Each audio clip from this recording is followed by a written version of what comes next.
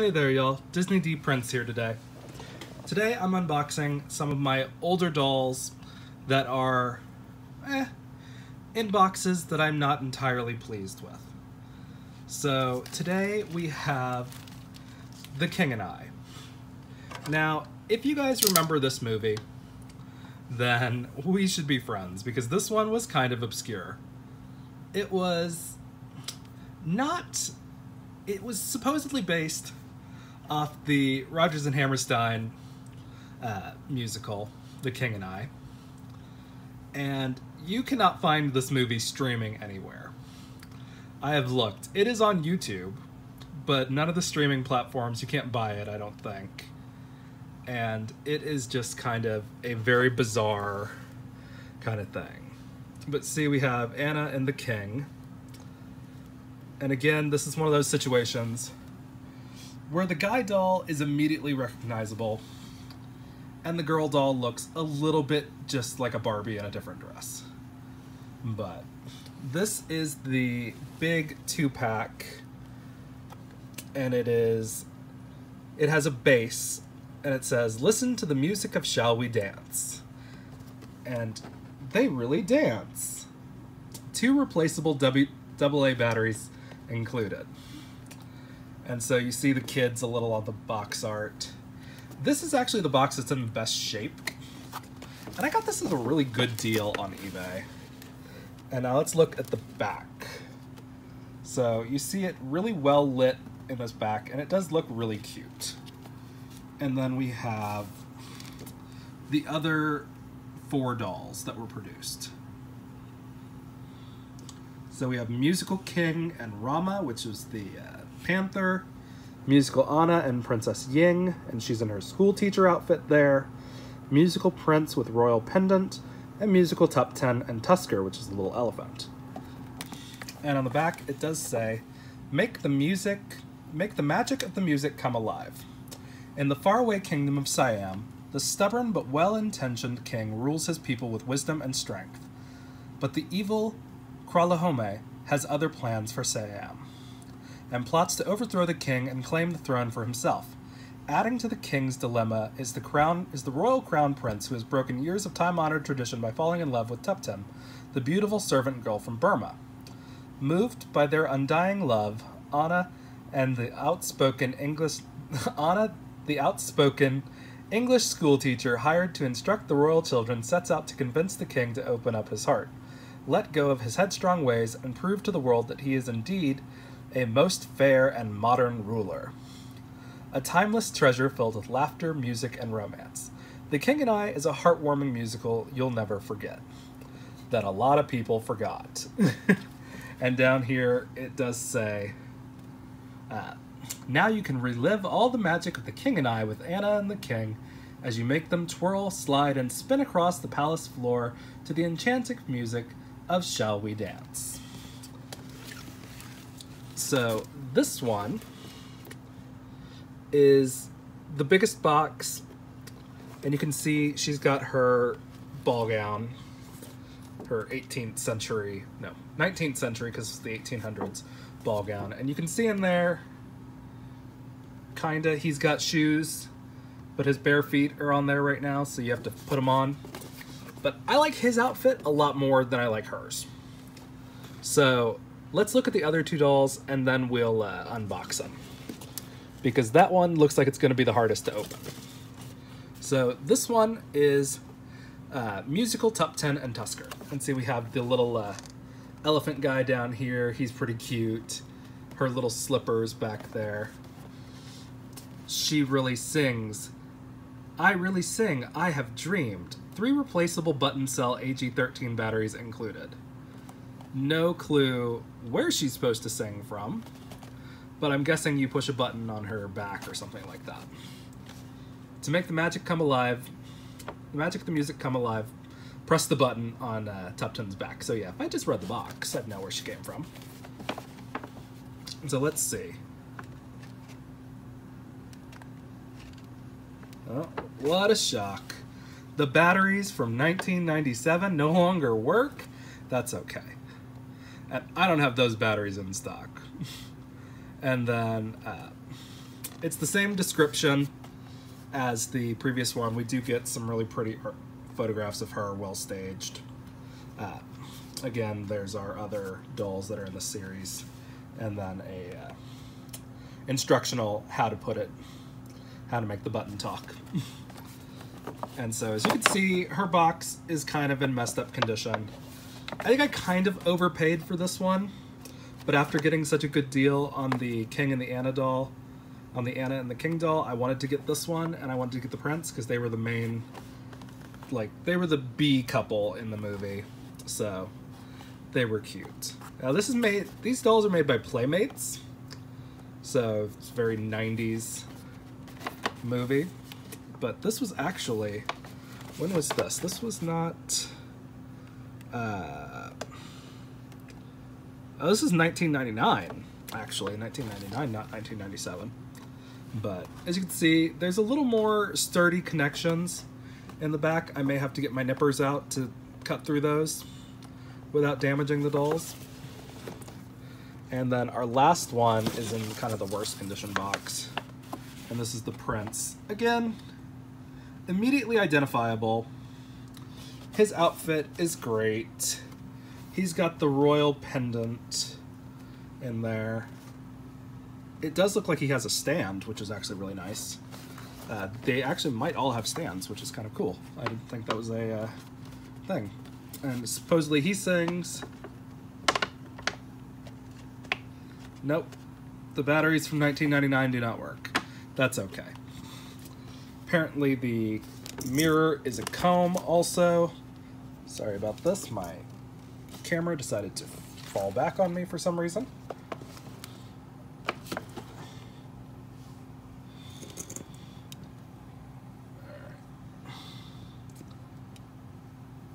Okay, it's secure.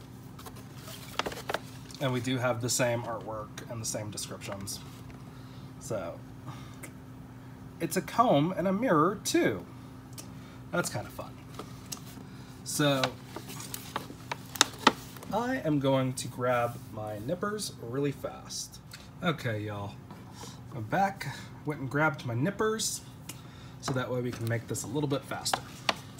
So let's see, it's just one little thing of tape it's holding the box at this point, but it is one of those irritating boxes that also has tape all around it because you have to open it like a book for some reason. So let's see if we can get this. Why are you not coming out?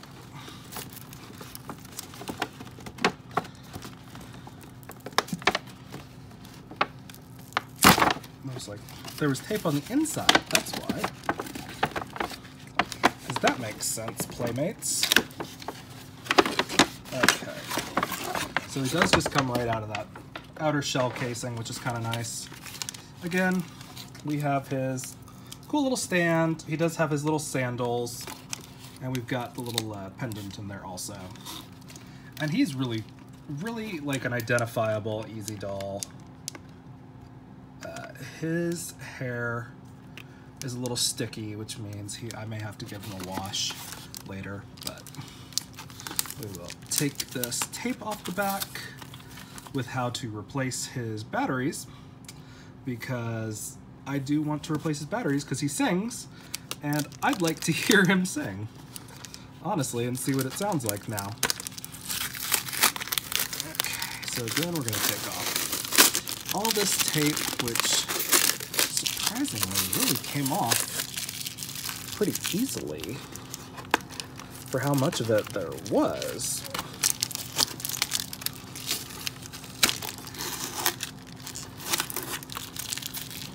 But, yeah. Okay. And we still got a little bit down here.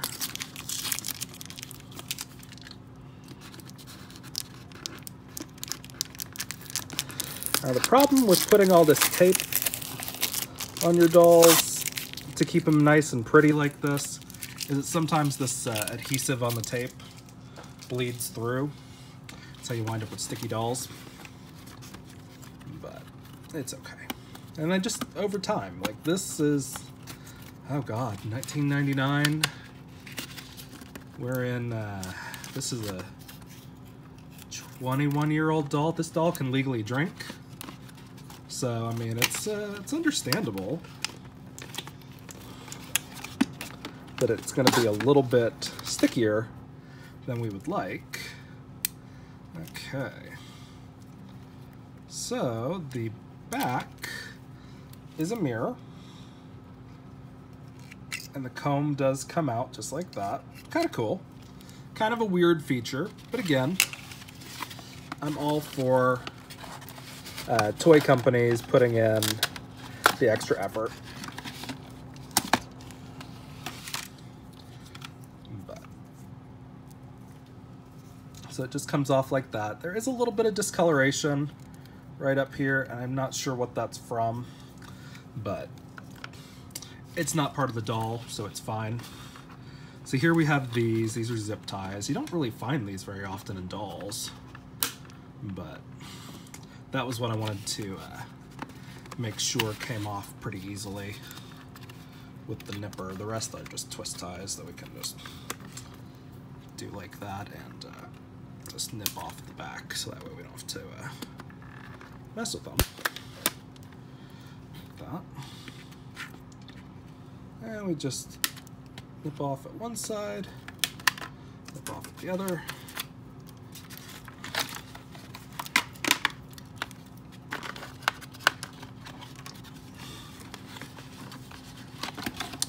And he comes out right like that. Now he does have a very pretty background, but it's not anywhere to where it's uh, usable for something after the fact. So here he is. He does have some discoloration in the vinyl on his legs.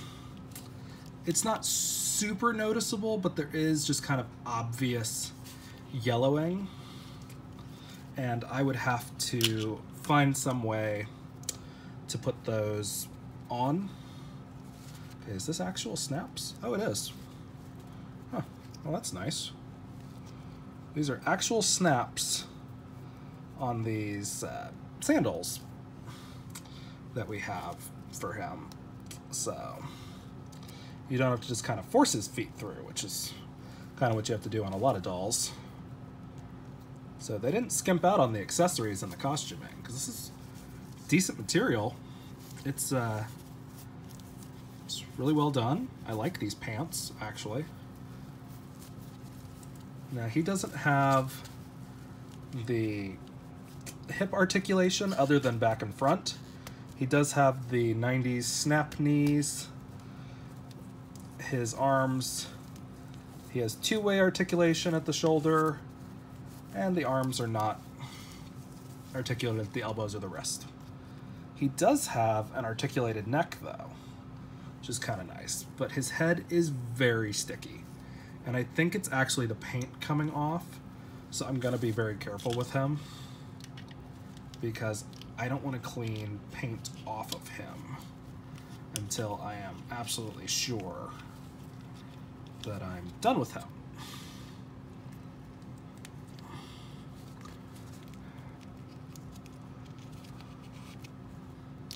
There we go. So his stand does hold him, so that's great. It's nice when they come with a stand. It's just a little little stand, which I haven't used these for Ken dolls before, and uh, I'm kind of intrigued now that I know that they can work like that. And I might order some of them because it doesn't uh, cut the line of the doll so much. So now we're going to open uh, Tuptim, which is his uh, servant girl, love of his life, becomes a princess. She was from Burma, which I think is not the uh, correct term to use anymore but this was 1999, and world politics evolve.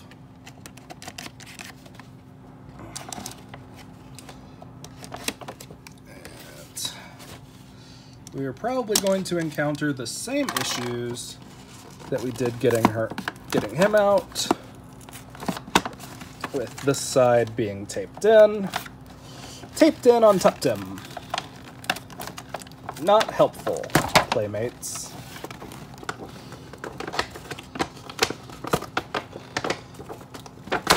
Ugh, okay. She came out, finally. Okay. And she's got a very nice face. Uh, we're going to take her out and see what she looks like all the way. She does also have a stand, so I'm excited. All of these came with stands. Um, so looking at that, I'm thinking that these were probably in the uh, 20 to $30 range when they came out. And if they were under 20 back then in 1999, then I would be kind of surprised because these were not just regular dolls, they were singing dolls. All of these. They actually did not produce non-singing dolls, which I kind of find funny. Usually it's the other way around, even for movies that are musicals. But this one,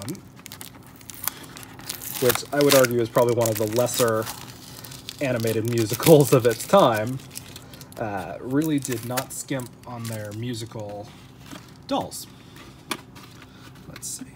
Okay, again, she does have a zip tie for around her waist, which is kind of bizarre, really. Because it it's very visible from the outside of the box.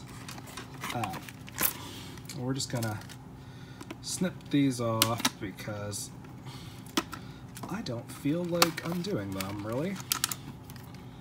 We're just gonna go like that for the uh, Tintin or whatever his name is, uh, Tuscan, Tusker.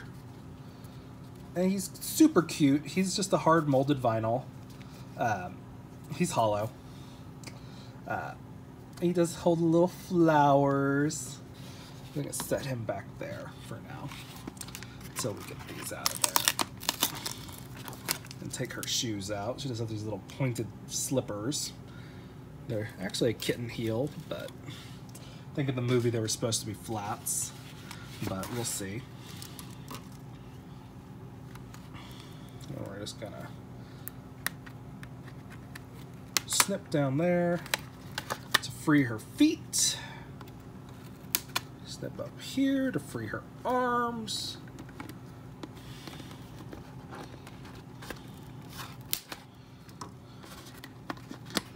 Yep. And a little bit up here to free her hair.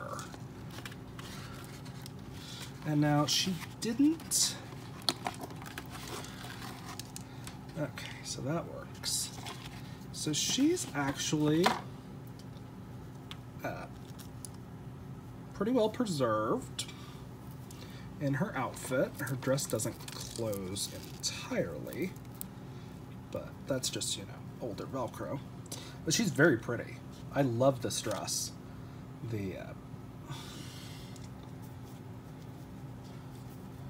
it is just a very and it's a stretchy fabric actually which I didn't think it was going to be when I was looking at it but it is a stretchy fabric and I always love that a little bit with dolls just because you know they take a little more play and uh, you don't have to worry about them quite as much. She does have these irritating little fabric pulls on the inside that don't want to come out really well but she looks good. Her arms have a little bit of that yellowing in the vinyl, but again, she's got this up and down. She's got the knees, and she's on her stand. So let's take her off her stand real fast. Let me see if I can show her legs. Ugh. Her legs, her vinyl is very sticky. She was obviously not stored in a uh, in a cool climate before I got her. But she is very pretty. Let me get the uh, shoes out of that little uh, baggie that they're in. Now we can put her shoes on her. Now she doesn't have flat feet. It's a little bit upsetting because she's got flat shoes. But let's just pop those little shoes on her. And she's very cute.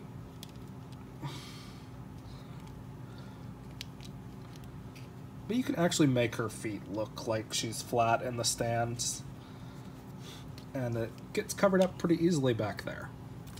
So that is Tuptim and Tusker, who is a little short for me to be showing you. What could I set him on? Anything? No, it doesn't really matter. He's back there. It doesn't really matter. He's back there. You see him eventually.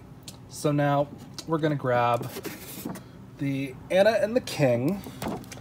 And I did go and grab some. Okay. So it makes sounds. It is not music. but I am intrigued to see if replacing the batteries makes that better. Because I did find some AA batteries that I have just sitting around. So we are going to try and see how easily this box opens. I doubt it's gonna be easy. This is one of the higher end, this is probably, this set was probably $40 when it came out, if not 50 but I doubt they priced the main characters that far out of the uh, out of the options. But she, they are a, uh, a limited, not, a, not super limited, I don't think, but they are more uh, more limited than the other two dolls that were made of the characters. So you see them in this, they are cute.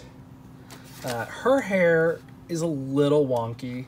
She's supposed to have these really nice, uh, this really nice big updo. So her hair is a little messed up. He looks spectacular. Again, he's got a swivel head. I'm really excited to see that. So let's take this off. Oh, this is a monstrosity of tape back here. It is literally like they just took so much tape and just ran it the entire way across the back of the box. Because they were like, you know what, someone's going to want to get into this. Let's make it difficult. This is not the time. They're like, yes, let's let's take it out like this. so it does come off. There is a little uh, little instruction there's a music button and a direction button, apparently. We'll get to that a little bit more later. Let's try to get all this stupid tape off. I've got a love-hate relationship with toy companies when it comes to how they package things. Because it looks really pretty from the front, but then the backs of toys are just monstrosities now. And it is just like, why is there so much emphasis on packaging these to be uh, just perfect? I'm more of a, I would rather take it out of the box and enjoy it kind of toy owners than I am a collector. Like, I love to collect, but at the same time, it is just ridiculous sometimes. Okay, so here he is. Here's the king. Again, there is a lot of yellowing on his legs. I need to hit him with a little bit of the... Uh, oh, what's it called? Probably vinyl cleaner. I don't know. He does have the same kind of shoes as the prince. So I'm to just move them back so I can show this on camera a little bit. So same shoes, same mold.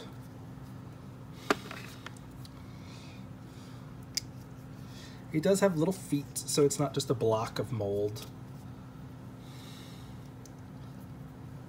So that's how that goes.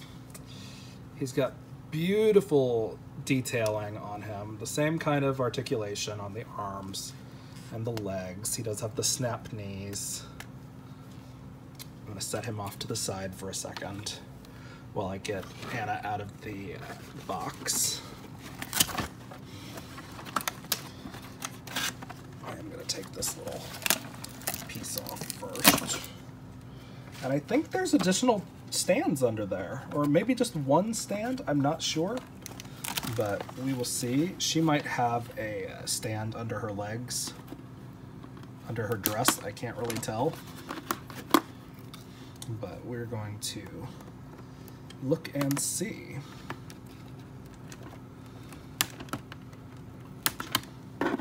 So we've got some of these that are just going to come out uh, nice and quick.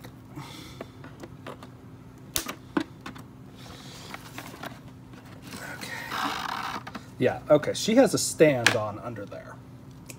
So that's great. So it does come not just with the musical stand, but also the doll stand.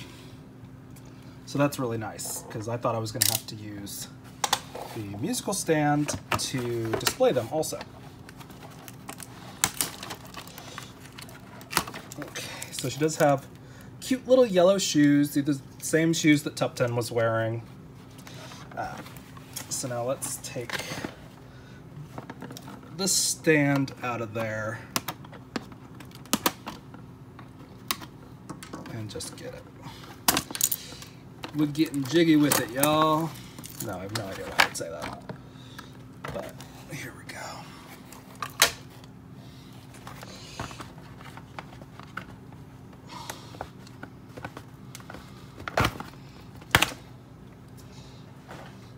And it does have a little stand for him also.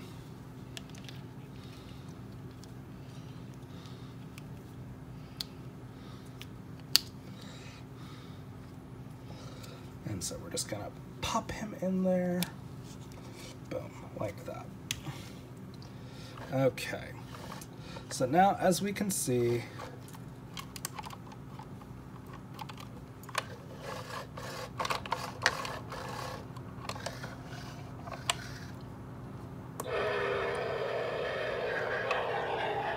That's the horrifying sounds that it makes. Uh, there is not an off button, unfortunately. Uh, it does have really pretty detailing. You see this elephant over here on the base stand, and some swirlings. And your speaker from Hades is right here. And uh, it does just have little tiny eyeglass screws holding that all together. There's a little wheel down here that spins it around and I did not anticipate, I brought batteries, I did not anticipate a screw opening, so I've got to grab my eyeglass screws.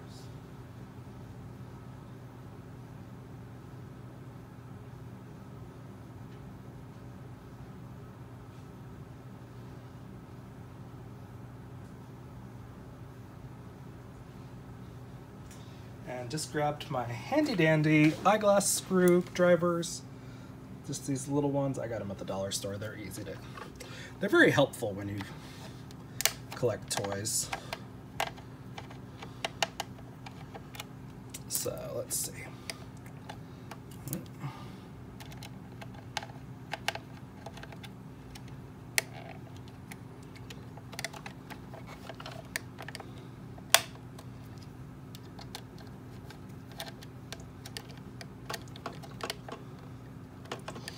don't know why you don't want to come out.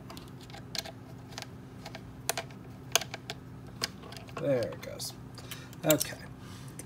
These were extra heavy duty back in the day. But it's not corroded, so that's good. That bodes well for our uh, future endeavors. I'm going to take some uh, relatively new Energizer batteries and pop them in there see if that makes anything sound better. I'm just gonna pop that right back in. And we're just gonna screw it right in there until it goes nice and flush because this is supposed to move around. Okay, so now let's see if out of 1999 this works.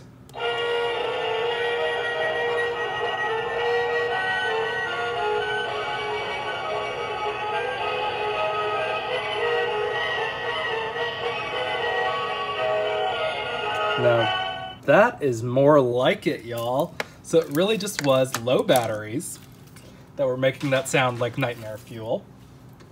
And it is spectacular. So I didn't notice this when I first looked at it, but this base just clips in to these stands. So you just snap them in like that, and then we're gonna, I'm gonna stick her shoes on her real fast. Just because I don't want to display her fully without her shoes on. But these just clip in to this musical stand, which I kind of think is genius because I know I have the Anastasia Waltz doll from the Once Upon a December song that plays the music that is a full doll stand that is included in it. So we do have our little little yellow flats on. And now no crinoline under here, which I find a little sad because it was kind of a, uh, a funny inside joke of the movie. That there were uh, such voluminous skirts. So let's see.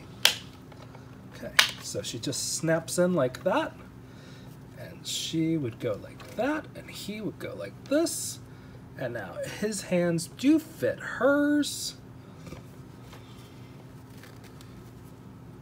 And they would go like this. And now, oh, and when we move the base back and forth, they spin. Like that. And that is great.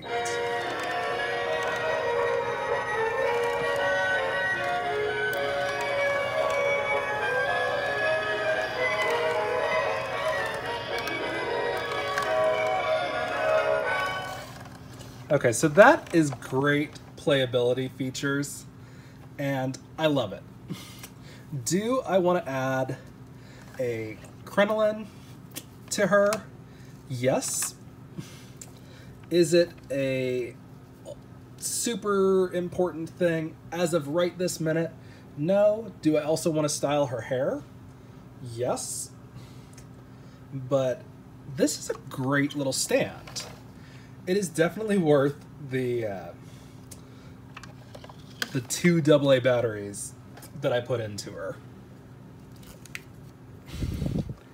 And now it does make me kind of curious as to what these two sound like because they sing the same song. So I'm kind of intrigued to see if they sing a matching duet or not. But they are cute. Again, here is our Tusker. And here is the Royal Pendant of Siam. But this doll stand, musical doll stand, I should say, is not just a regular doll stand. It has doll stands in it, but it is not a regular doll stand in the least. Is probably the coolest thing, and I really wish that I could get something like this that would also play Once Upon a December because this is a great way to do it because you don't just rely on a motor because the battery is only powering the music. It is not powering the stand.